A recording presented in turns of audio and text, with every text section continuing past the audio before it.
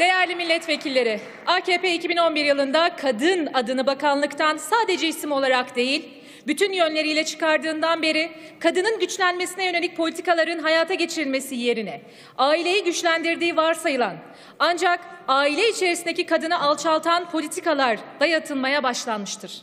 Kadına şiddete sıfır tolerans gibi laflara karşılık maalesef tolerans gösterilen tek şey kadına şiddet olmuştur.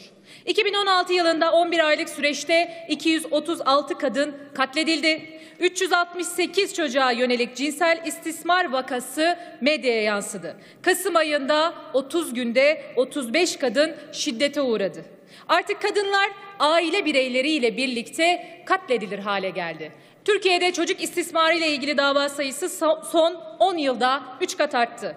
TÜİK verilerine göre son 10 yılda 482.908 kız çocuğu evlendirildi. 2015'te 17 bin kız çocuğu doğum yaptı. Bu zihniyetin sorumlusu gece yarısı önümüze koyduğunuz, çocuk evliliklerinin önünü açan, tecavüzü aklayan önerge sahibi sizin zihniyetinizdir. Bakanlığın 2017 bütçesinin 20 milyar lirasının sosyal yardım e, harcamalarına ayrıldığını görüyoruz. Ancak Kadının Statüsü Genel Müdürlüğü'ne ise genel bütçenin sadece yüzde üçü kadar para, pay ayrıldı. Bu rakam bakanlığın isminde bulunan politika geliştirmeye yetecek bir bütçe değildir maalesef. Oysa kadın ve çocukları korumak evrensel bir davadır. İktidar bu konuyu ne kadar önemsediğini bütçe dağılımı ile bir kez daha göstermiş bulunuyor.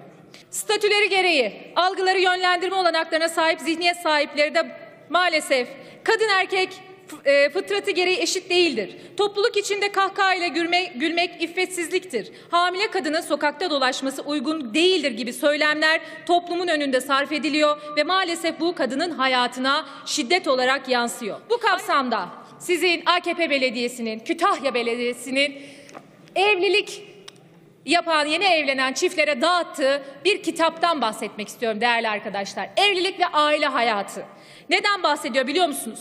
Erkeğin cinsel fantazilerini kutsayan, kadının nasıl işve yapması gerektiğini anlatan, kadına çok özür dileyerek söylüyorum ama bu sizin dağıttırdığınız kitap söylüyor bunu.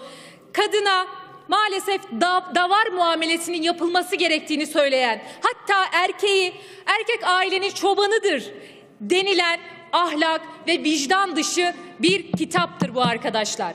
Gerdek Gecesi detaylarından bahsediyor bu kitap.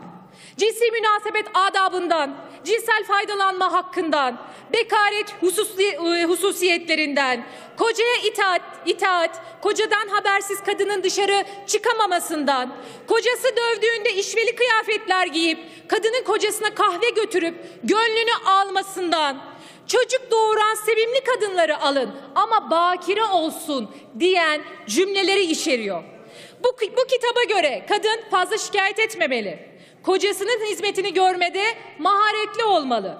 Kocası arzuladığında kadınlık görevini yapmayan kadın suçlu ve günahkardır diyor. Sizin bu kitabınız söylüyor. Çok... Kadın itaatsizlik ettiğinde müeyyidelerden bahsediyor. Bu müeyyidelerden bir tanesi de kadını dövmek diyor. Ve hangi hallerde kadın dövülebilir biliyor musunuz? Erkeğin reisliğine isyan eden kadın dövülebilir. Kocası arzuladığı halde süslenmeyen kadın dövülebilir. Kocasının cinsi arzularını tatmin etmek istemeyen kadın çok özür dileyerek söylüyorum ama söylemek zorundayım dövülebilir diyor. Bazen bir iki dayak işe yarar. Kadına evin hakimini hatırlatır. İlaç gibidir diyor. Siz sığınma evlerini övüyorsunuz ya maalesef. Diyor ki Evinden kaçan kadınlar için bir de belediye ve feminist dernekler İsveç modeli sığınma evleri açıyor diyor. Kadının çalışması faydasızdır. Kadın çalışma hayatına girerse kocasına karşı cinsel görevini yapamaz diyor. Hatta diyor ki iş yerinde mutlaka iki kadından biri tacize uğrar. O yüzden kırsın bacağını evinde otur. Teşekkür ederim.